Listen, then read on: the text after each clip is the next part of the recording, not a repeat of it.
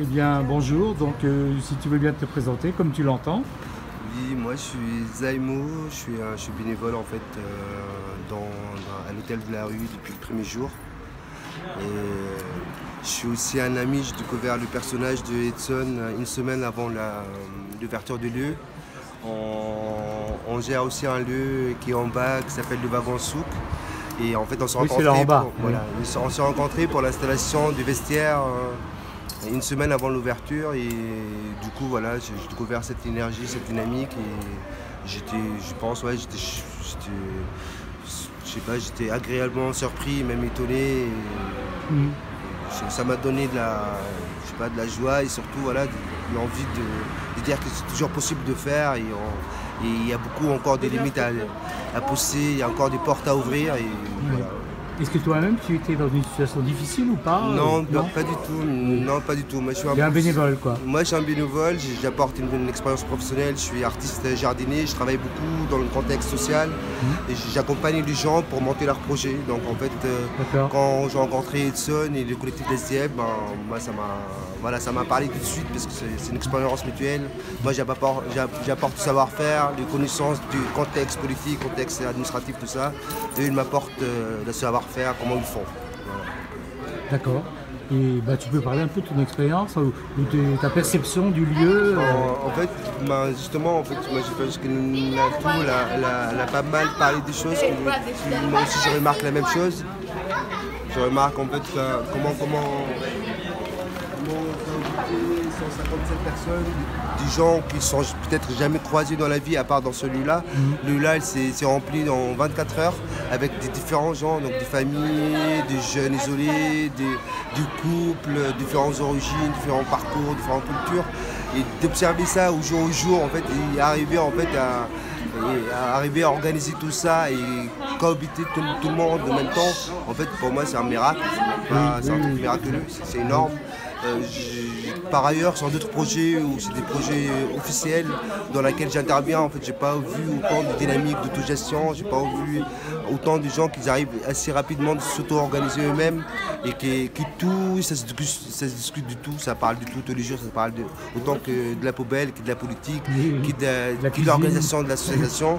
Euh, une chose que l'on n'a pas parlé, qui pour moi c'est énorme, c'est la, la création de l'association La Retourne. Donc la- l'association La Retourne, elle est, elle, est, elle est alimentée par des SDF, donc notamment des habitants d'ici. Et c'est énorme parce qu'il y a des gens là-dedans qui n'ont jamais fait l'associatif, qui sont il y a une semaine avant ça, ils ne se sont jamais dit qu'un jour on va organiser un, Oui. un lieu collectif euh, et tout ça. Et leur capacité en fait et leur, leur, leur enthousiasme en fait à rentrer Oui. dans l'aventure et, et s'organiser tous les jours Ouais. avec leur savoir-faire et leur manière de faire. Du coup, moi je trouve ça c'est hyper intéressant, Si énormément permets, intéressant. on, on- on- on rêve que les chômeurs, par exemple, fassent ça aussi. Ouais. Parce qu'on on constate qu'il y, a il y a des millions et des millions de chômeurs. Ouais. Et chez- c'est chacun pour sa pomme, quoi. hein. Et il n'y a pas euh, l'équivalent d'une association comme ça. Ouais, ben en fait, Enfin, il y en a, mais en tout cas, c'est une belle initiative. Il y a beaucoup encore, ils ont beaucoup à apprendre en fait, de- du coup, sur les juridiques, sur l'administration, sur la trésorerie, des choses de base, sur la gouvernance, comment on organise une réunion, comment on décide des choses. Mm. Donc du coup, moi, moi, je suis professionnel là-dedans. En fait, ça fait une quinzaine d'années que je suis dedans, donc je les accompagne, j'essaie de faciliter au maximum les choses sans que je ramène mon savoir-faire, parce qu'en même temps, je me déconstruis. Autant Ouais. que j'ai construit avec eux, autant que je me construis moi-même. Voilà, donc c'est un peu difficile parce que c'est un exercice aussi quotidien pour moi. Et, euh, et justement, je reviens sur, les, sur le discours euh, politique, la récupération politique. Je pense qu'on réduit les choses à rien du tout. C'est pas, c'est pas parce qu'il y, y a un camp qui, qui, qui milite euh, contre le, le sans-abritisme. Pas le contexte politique, n'est pas choisi, tu vois, et il est là. Mais par contre, en fait, il y a beaucoup de gens ici, il y a beaucoup de parcours de vie, il y a beaucoup de gens politiquement, ils sont, ce qu'ils font. Ce qui se passe ici, c'est politique dans le sens noble du terme. C'est Oui, oui. un exercice tous les jours qu'on n'en parle pas assez. En fait, euh, Oui. on n'en parle pas Ça assez. viendra peut-être. J'espère, en fait, parler qu'il y a du les besoins les plus urgents Voilà, de, voilà, de voilà. la vie, de la survie d'abord. hein, Et pense. parler surtout du parcours des gens. Moi, je suis fasciné. Fasciné, je me suis retrouvé un peu petit, pourtant j'ai de l'expérience aussi, je viens d'ailleurs. Mais euh, de voir des gens qui parlent, je sais pas combien de langues, mais en- genre, on- on- ils sautent d'une langue à une autre, Oui. comme si c'était rien, qu'ils ont cette capacité de s'adapter à tout le monde, qu'ils se connaissent déjà, t'as Oui, l'impression. oui. Moi, c'est des choses que, ouais, c'est un monde contemporain que je vois, que je dis waouh.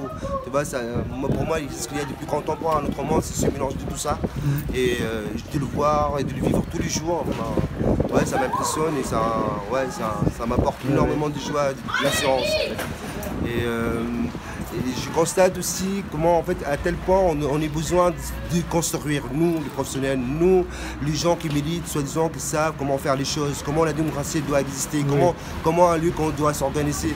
Je pense qu'en fait, il y, a, il y a des choses qui s'organisent d'eux-mêmes, il faut Oui. juste les observer, Oui. en fait, il faut juste le regarder. Les gens, ils Il faut juste le repérer, il faut juste les faciliter, l'aider quand on peut plus. Voilà. Mais en fait, donner, en fait, venir avec ses propres idées et dire c'est comme ça que ça doit faire, Non, ça ben, ça n'a pas de sens parce que ça n'a aucune richesse là-dedans. La richesse, ça vient de là, peu importe ce qu'elle est. En fait, elle viendra de ce que cette- ce groupe de gens qui sont rentrés à un moment, ils ont décidé de faire des choses. Donc en fait, voilà, moi, c'est un message que je passe à tous ceux qui sont venus avec des bonnes volontés à la base. Mais en fait, je pense que quelque part ils ont fait de mal ou ils ont démotivé ou en fait ça démotive parce que non, il sera pas il sera pas un projet unique si, si on ramène autre chose. Et ça c'est de la part de ceux qui ramènent des projets comme le Grand Bazin ça c'est de la part des militants qui ramènent un peu l'état d'esprit des nez debout euh, vas-y on vote on fait comme ça et tout ça. En fait juste non il y a quelque chose qui se passe ici. Ouais. cette chose là nous a- elle va aussi nous apprendre des choses. Donc ça voilà. Faut laisser place à la chose de naître de s'organiser pour un moment en fait. Oui, oui. Communiquer et échanger avec, avec, avec ce J'espère que les politiciens, entre autres, euh, qui vont voir et écouter ça, Ouais. euh, se rendront compte de co- combien ils sont décalés Ouais. de la vie réelle. Ouais, mais surtout en fait, les politiciens, les retours là, en fait, ils parlent d'une notion de projet. En fait, dès qu'on parle, c'est quoi votre projet? C'est quoi le projet? C'est quoi le projet? Mais en fait, c'est quoi ce stress de projet? Le projet, en fait, c'est quoi? On peut aller sur Google, tu vois, moi je peux copier un projet, n'importe qui peut projet- copier un projet. On peut parler du grand voisin, on peut parler de ce qui se passe à Marseille, on peut parler de je sais pas où. On lui vient, on lui dit c'est ça le projet. C'est trop facile. En fait, c'est hyper facile même. tu vois. oui, Mais en papier. fait, pourquoi on ne laisse pas le temps en fait de faire réfléchir ce projet-là? Pourquoi en fait le projet ne laisse pas de ce qui se passe actuellement? Pourquoi il vient d'en haut Pourquoi on aussi? repère pas ce qu'il y a dedans en fait et à partir de ce qu'il y a dedans, on propose un projet? Et ça, la ville, il faut qu'on se rende compte qu'elle laisse le temps de ça. qu'elle- Mmh. cette, cette pression de projet en fait, ça. Ça, ça, ça- ça nie tout. C'est comme si tout le monde pareil, chaque lieu c'est pareil, comme si on est dans la capacité d'être créatif, et dans la capacité de, de, de, de- de- créer un micro-monde ou un monde à un moment donné en fait. C'est pas, on n'a pas besoin, en fait, il faut partir, il faut laisser le temps gens qui s'organisent ici. Il faut laisser le temps à la retourne d'apprendre, de comprendre, d'aller vers des choses, de construire réellement des choses.